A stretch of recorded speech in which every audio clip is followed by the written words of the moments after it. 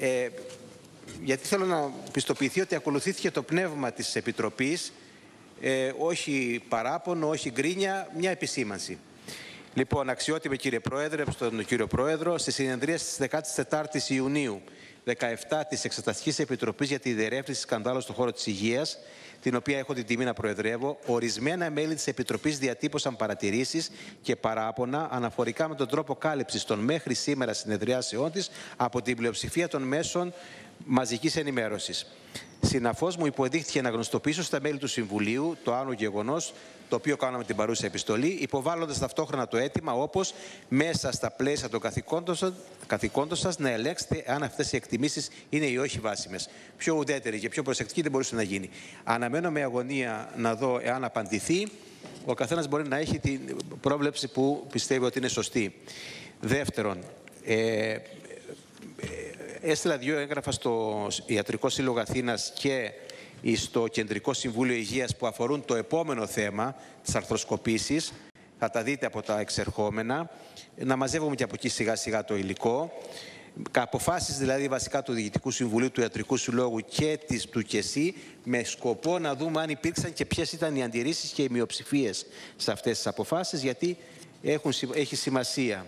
Επίσης, Έστειλα στο ΚΙΕΝ πια, ε, στο Διοικητικό Συμβούλιο του Κοινοφελούς Ιδρύματος, ε, να μας στείλει το σύνολο των προμηθευτών, λίστα ονομάτων εργαζομένων που αναγράφονται τα στοιχεία, σας και, στοιχεία τους και την μορφή εργασίας ένα χρονικό διάστημα μέχρι 39 του και την αποζημίωση που έπαιρναν τα μέλη του ΔΣ. Από αυτά, από ό,τι γνωρίζω, ήρθε σήμερα το πρωί η λίστα ονομάτων εργαζομένων ε, τα οποία έχουν κάποιο ενδιαφέρον, σημαντικό ενδιαφέρον, ε, το εξής, ότι με, με πολύ μεγάλη επιμέλεια και πολύ μεγάλη σχολαστικότητα, όπως και οι κατάλογοι των ασθενών, έχουν παρατηρήσεις δίπλα σχετικά με το ποιος συστήνει ποιον. Αυτό θα είναι ενδιαφέρον.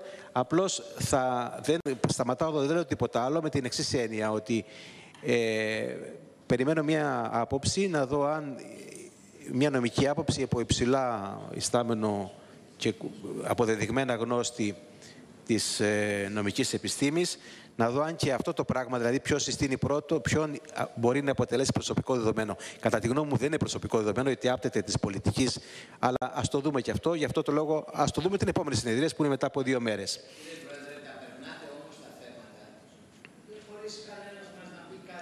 Ε, στο τέλος, δεν μολυβάκι, δεν έχετε να σημειώσετε; Στο τέλος θα πείτε.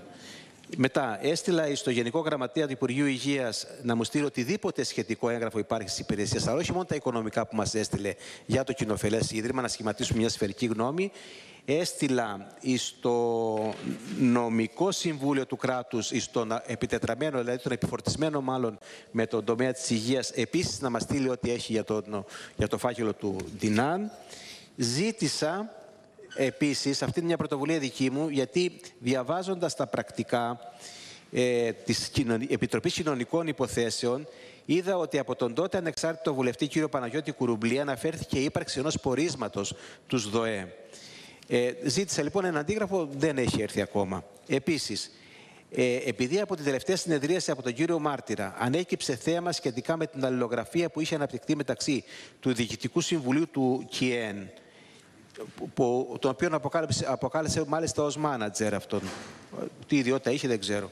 Του κυρίου Χαραμή με το Υπουργείο Ανάπτυξης και τρίτον ζήτησα αν υπάρχουν πλήρη σειρά αντιγράφων, επιστολών με ηλεκτρονικά ταχυδρομεία που έχουν σχέση μεταξύ του Διοικητικού Συμβουλίου Βαντελάγιστα μεταξύ